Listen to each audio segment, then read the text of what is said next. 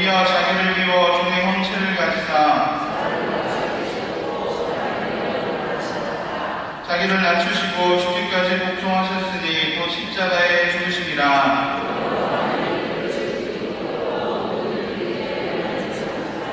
하늘에 있는 자들과 땅에 있는 자들과 땅 아래에 있는 자들로 모든 이유로